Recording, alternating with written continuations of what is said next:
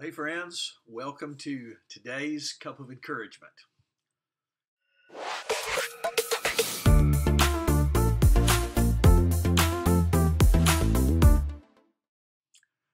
My Mrs. Sweetie recently got her request of a special table set up in the den for her to do jigsaw puzzles.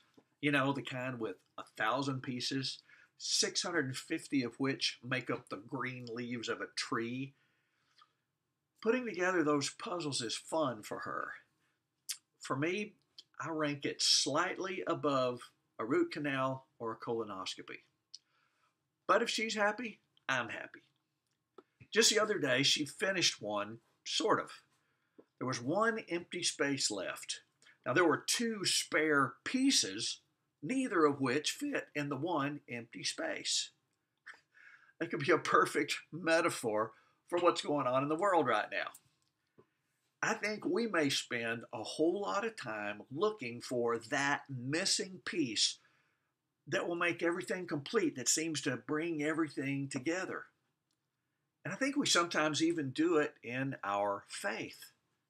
What is the one thing we're missing that will make our walk with the Lord just click? Romans 6:11 says, so you also must consider yourselves dead to sin and alive to God in Christ Jesus. So that's it. The missing piece is that we need to die to sin. But it's so hard because sin keeps reminding us that we aren't there yet. But notice what the verse says it says, Consider yourselves dead to sin.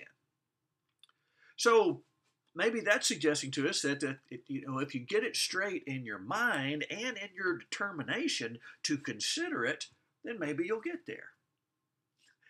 Let me give you some great news in the words that I read this morning from Neil Anderson in the book Daily in Christ, the devotional book that I'm using this year.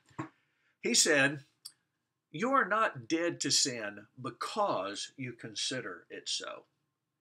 You consider it so because it is so. In Christ, you have already died to sin. as a person who has trusted Jesus as Savior and has received the gift of salvation, you are not in the process of dying to sin or becoming a new creation. You are dead to sin in Christ because you are a new creation in Christ. The missing piece is not something else we need to do, but the truth we need to receive in gratitude. We consider it to be so because it is so. Can you receive that gratitude right now? Be amazing today, my friend. And don't forget to subscribe.